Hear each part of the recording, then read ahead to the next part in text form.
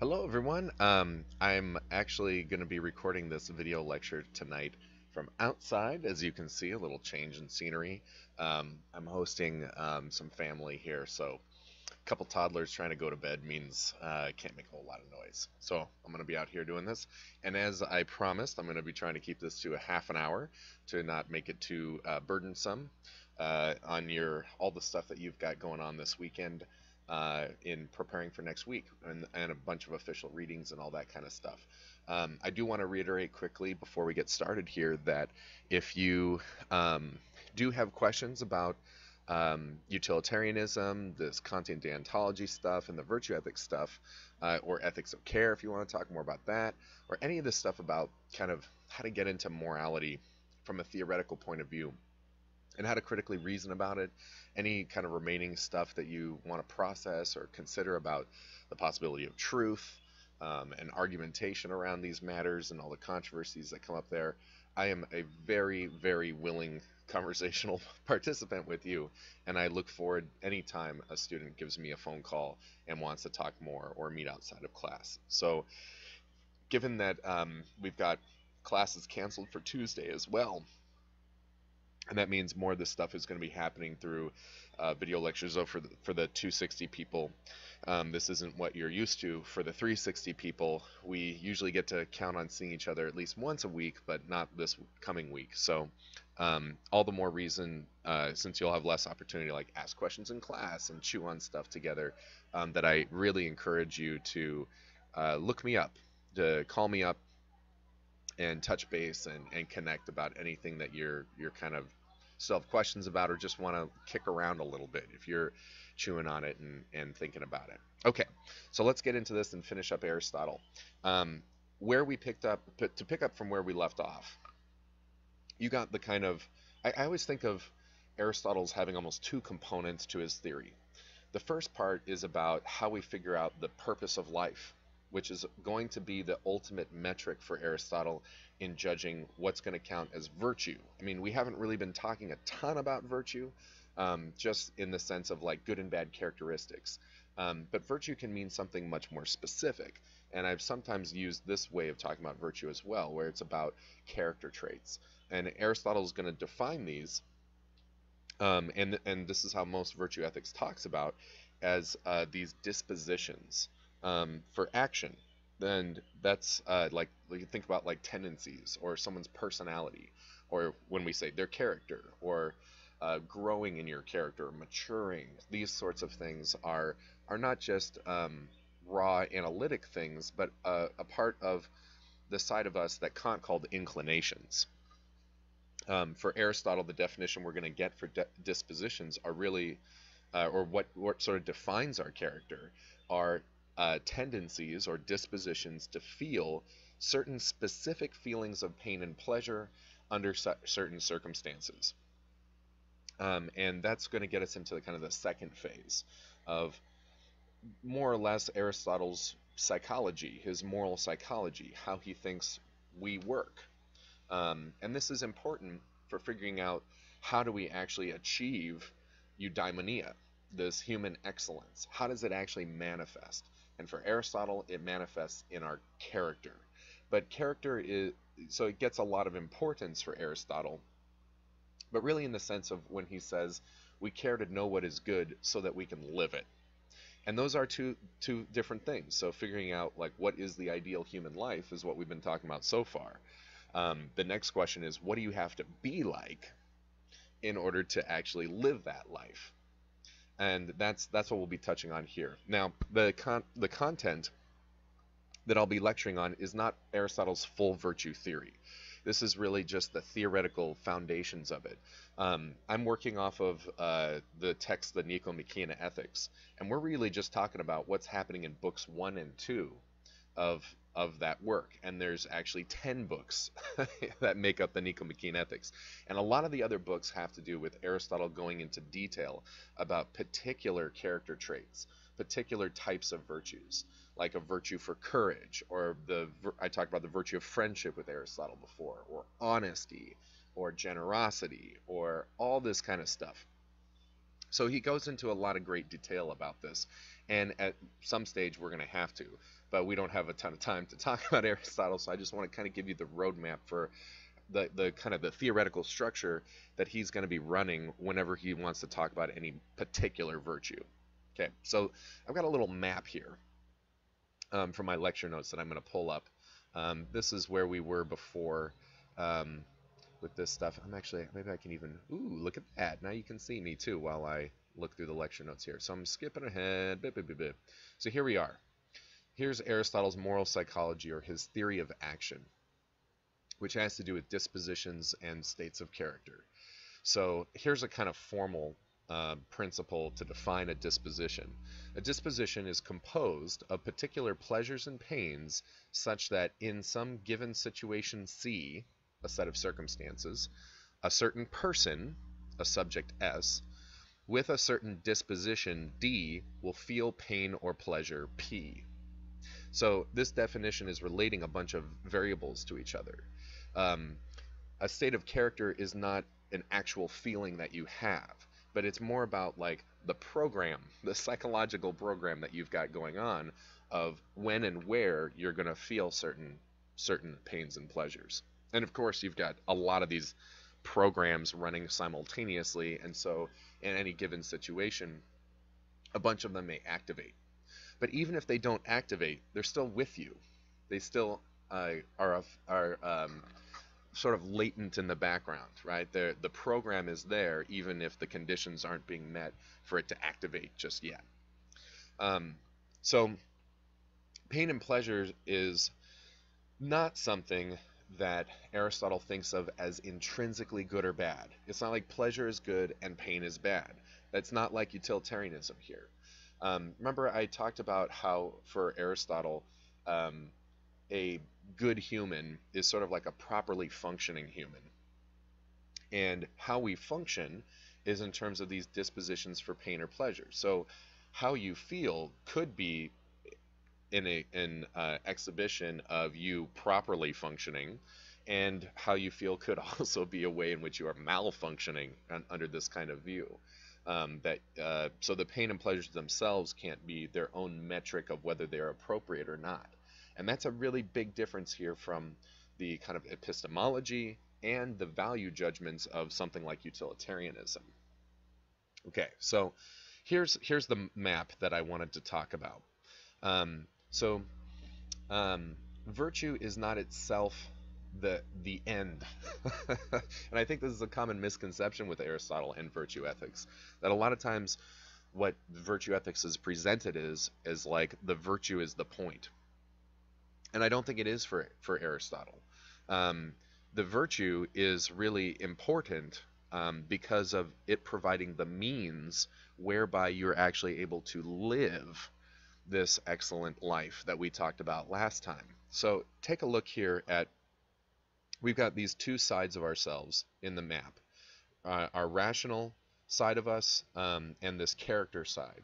And character, this is very, very close to Kant and the self-generated uh, laws versus the laws of inclination, although there's some pretty big differences here with Kant too. So Aristotle doesn't fit into really the utilitarian side or this Kantian ethics side perfectly. He's got some things that are similar to both, but he he's his own thing here. This is a, a different type of way of framing what's going on with us. But Aristotle does see us having a kind of rational component to who we are, that we could be doing excellently or not excellently. But then there's also excellence to be found in our character.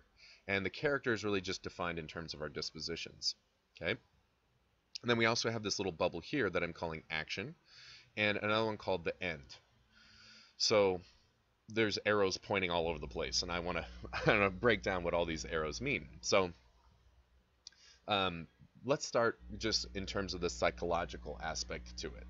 So Aristotle believes that based on what your dispositions are, under different circumstances, those will trigger you to feel certain types of pains and pleasures and those pains and pleasures will determine how you are going to act. I put an arrow here with an X to indicate that Aristotle does not believe, like Kant does, that reason can direct your will eh, all on its own. It's actually inert, motivationally inert. Re- rationality is not you writing your own programming. Um, for Aristotle, your actions are really determined by how you feel. And that's something that Mill believed too, but Kant disagrees with. Okay, so how you feel, these pains and pleasures are going to lead you toward or away from certain actions. So, on a really basic level, Aristotle's saying, you know, if you feel, if you find something pleasurable, then you're going to be drawn toward it. You're going to take actions that pursue it. If you find something painful, you recoil from it and you'll avoid doing those things or avoid those circumstances. Um, the reason why pains and pleasures can motivate particular actions is because a very interesting thing Aristotle says here. He says the pains and pleasures are they're not universal. It's not like when Mill is talking about utility and disutility in this abstracted sense. Um, it's kind of like what Kant said about this, about how uh, we don't desire happiness, we desire a particular conception of it. For Aristotle, pains and pleasures each have their own unique uh, flavor to them. They have their own unique character or content, and they're not um, commensurate. They, there isn't this like, um, like in utilitarianism, some like common currency of pain and pleasure that you can um, kind of weigh like, oh, how much pleasure am I getting from this object versus or experience for this one, right? They're all unique for Aristotle, and so um, when I do an action I am acquainted with the pains and pleasures that are intimately connected with that action. And when I do that action repeatedly, that's going to change my dispositions. Um, kind of like in a case of like addiction. Um, except this is just like a natural aspect of all human psychology, not just separating out addiction as its own like extreme special case. Like you, you have addicts and people who are not addicts. Aristotle's like everything works like this. Um, habits are really dispositions that are trained by continually exposing yourself to the pains and pleasures of a certain action. So if you do something over and over and over again, you'll acquire some dispositions that really serve to um, reinforce that action. So there is this kind of weird um, cyclical trap or loop, like like in the cycle of addiction, right?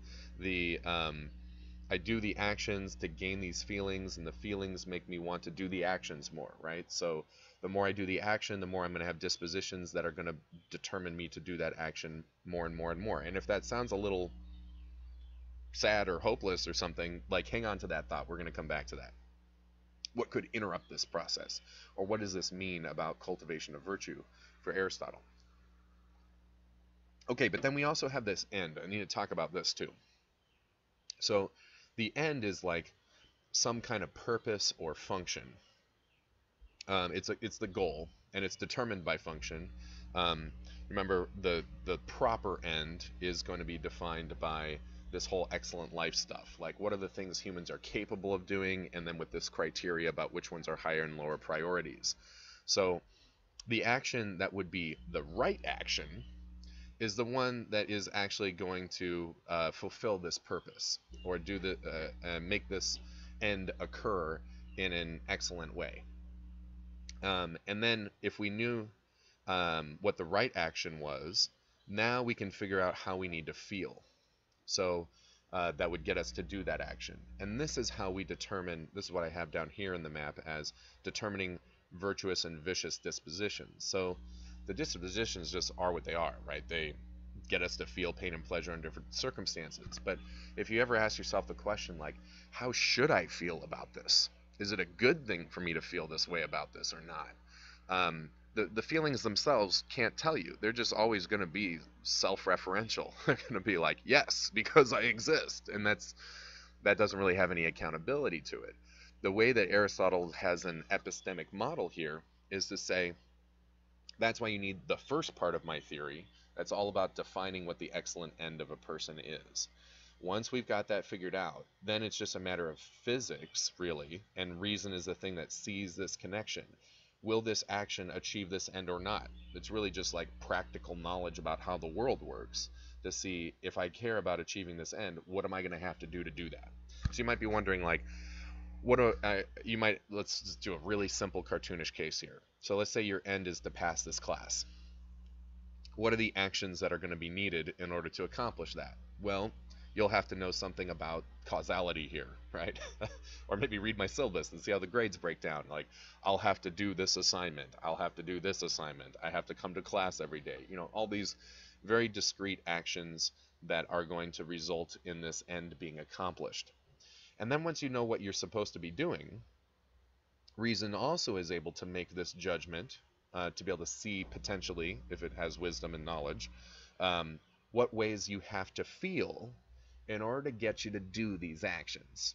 So this is really psychology. So this this connection here between an end and the right action is really just a matter of physics and causality in kind of the outer world.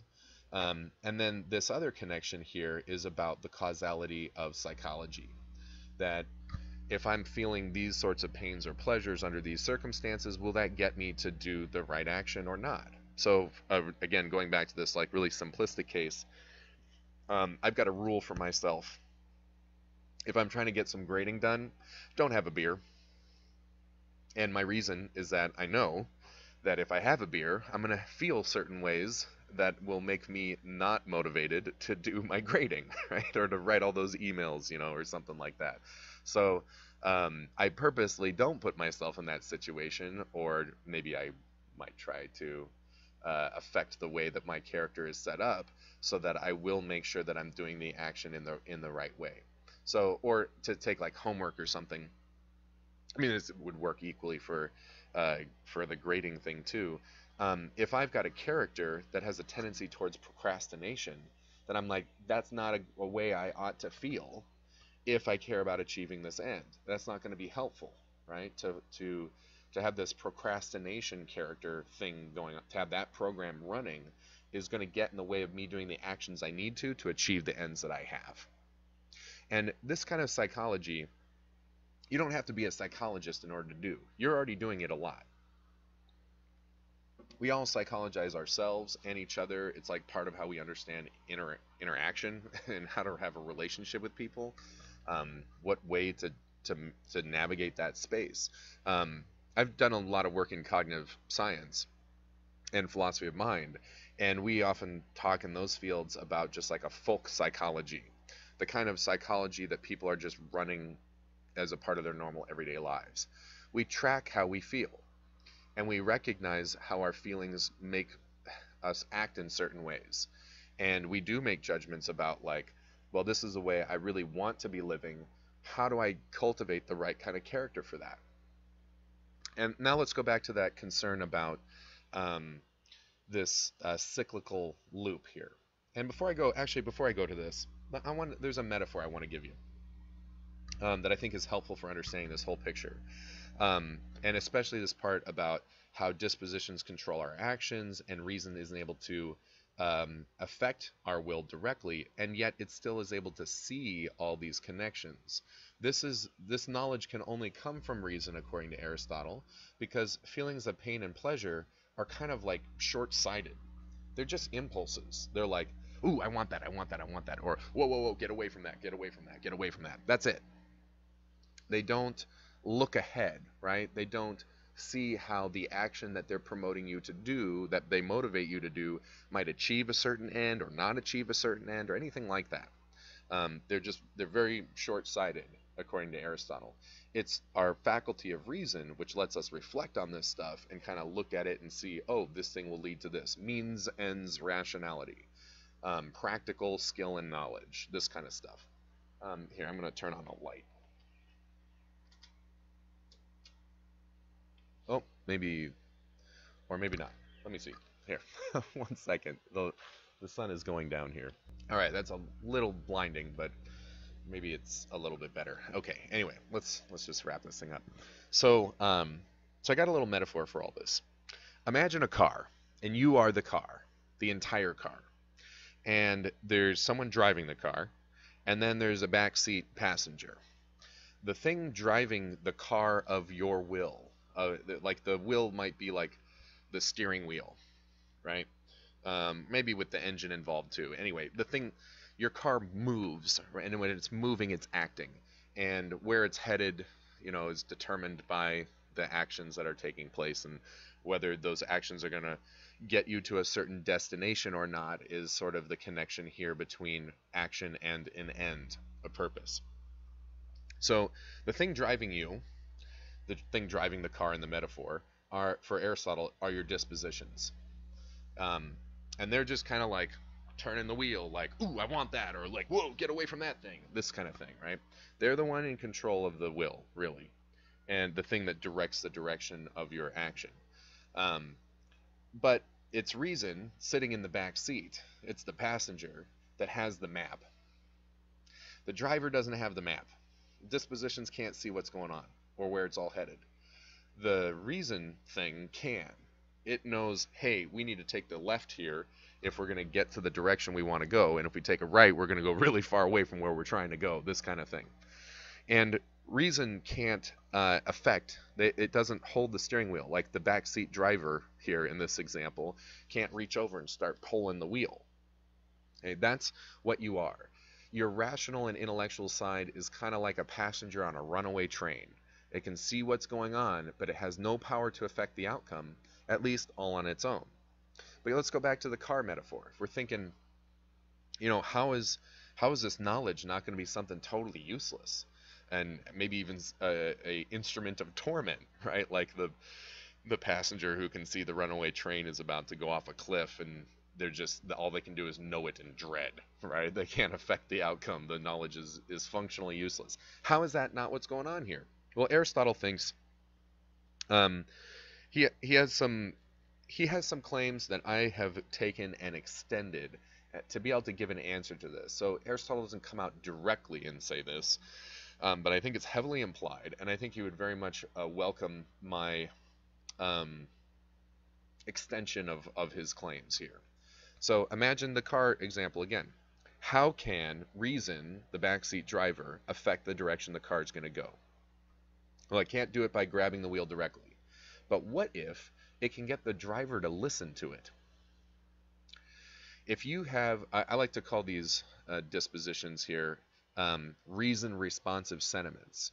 If you have reason responsive sentiments, that is, you've got dispositions to feel pain and pleasure in reference to what's going on with reason. Like if you find uh, arbitrary action distasteful, painful, if you find contradictory actions painful, if you find hypocrisy, double standards, all that kind of stuff, something painful, um, then you will acquire motivations to listen to what reason is saying. Even though reason can't act directly, it can do this. Or if you take joy in acting consistently, or if you take joy or pleasure in doing what's good, things like that, then reason's got its foot in the door, right?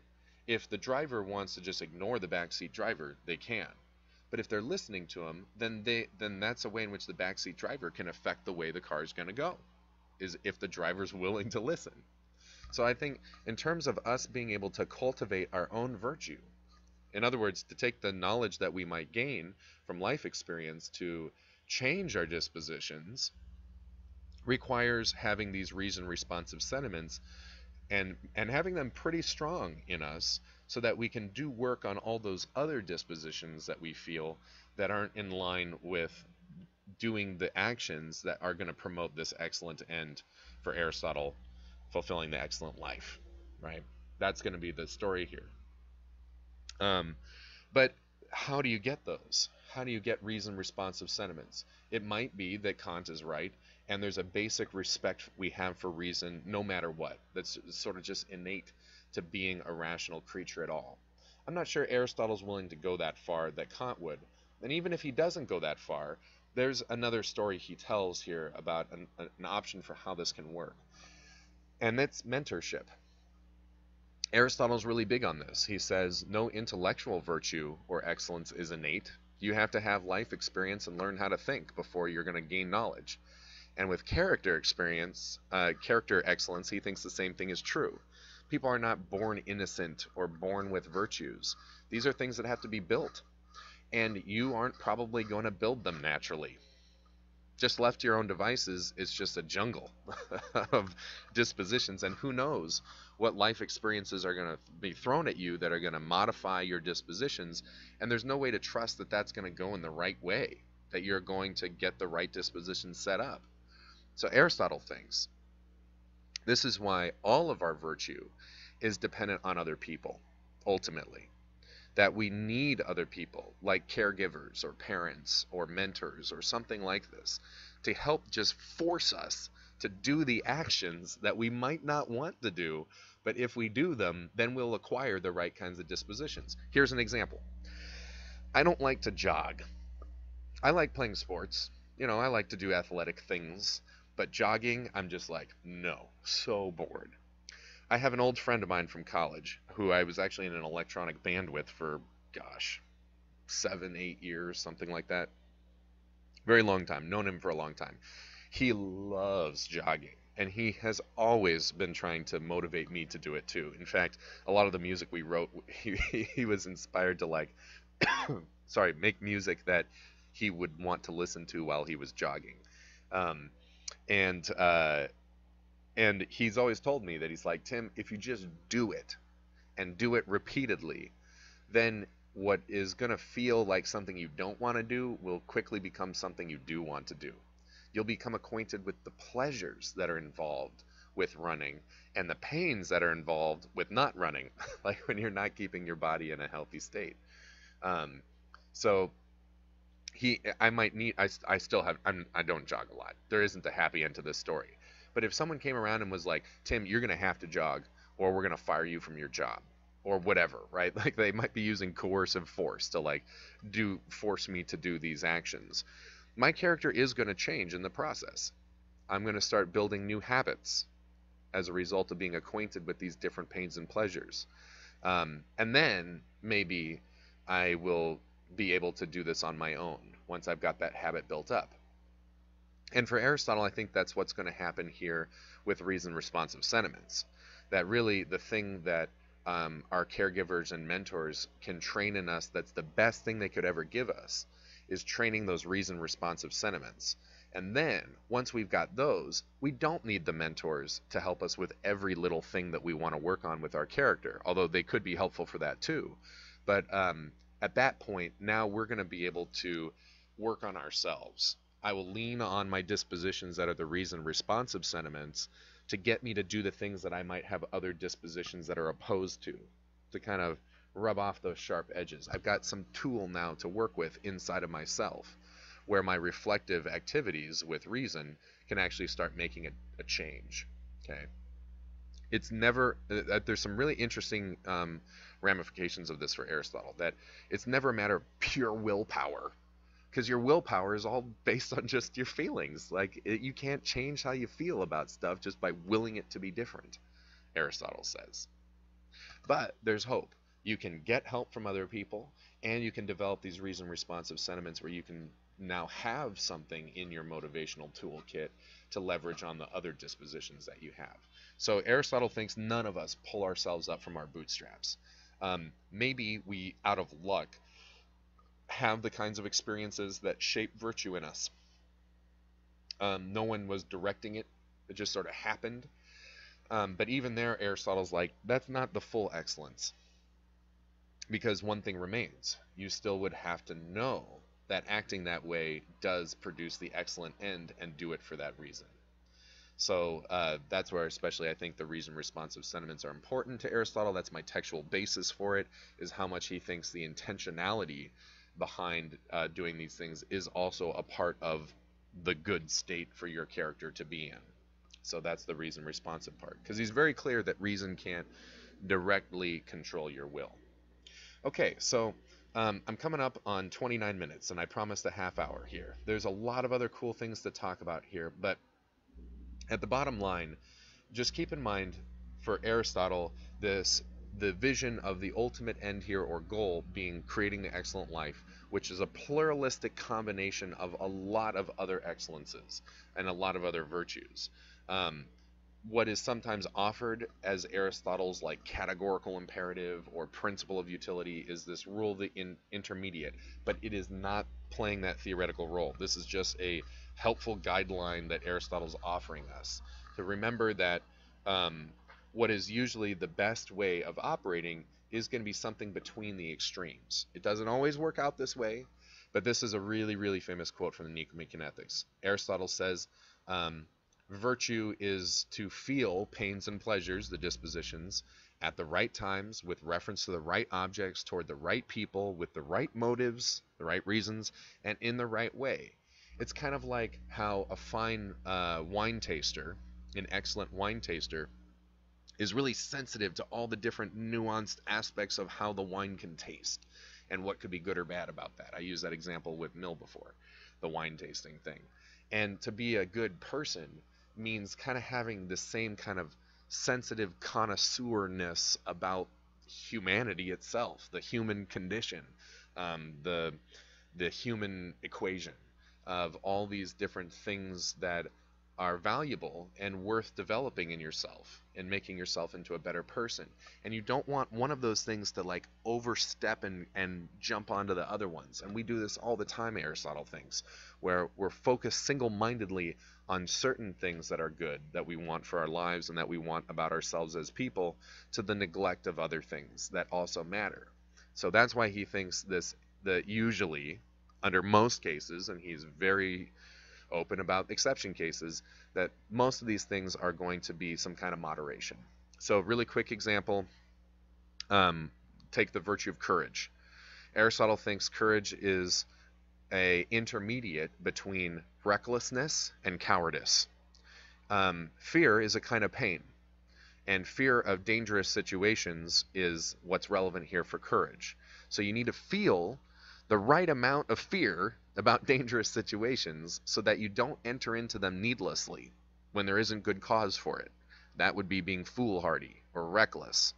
Um, but also not so much fear that it's debilitating and keeps you from doing going into dangerous situations when that's really called for. Okay, when there's some other important purpose for doing so. That's really courage for Aristotle. It's not fearlessness. It's feeling the right amount of fear that will get you to act in the right ways, right? Going back to the model from above. Okay, I think this is going to be good for Aristotle. There's there's a bunch of other things we could talk about. Some really interesting contrasts here between character and skill, and why reason is such a big deal for him. But um, I think this is this is going to be pretty adequate for us. And if you want to take a look at the lecture notes or read more the Nicomachean Ethics and ask questions, by all means go nuts. I'm always like totally encouraging of students to get more ambitious with their studies here and dive deeper if this sounds interesting to you. Um, I think Aristotle's one of the more popular theories among the students I've taught in the past just because it's so like practically driven and maybe also pretty intuitive. And you're probably already enculturated into it by going to school honestly and like working toward a career. That you're already in a mode of trying to self of self-improvement and trying to empower yourself to be able to achieve certain types of excellences. That might be a paradigm you're already very familiar with um, but keep in mind there are there is some objective standards here about which things are actually worthy goals. What is the excellent life really to look like?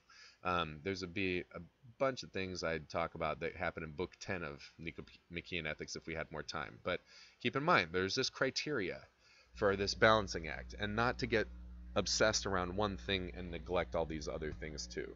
Um, that risk of over specialization is going to keep you from being an example of human life at its very best, of a eudaimon person. Okay, so I'll call it there. Um, thanks for watching this little supplement and helping us move things along. I'm very excited to talk about fiduciary duty and uh, Friedman, Boatright, and Hasnas next week.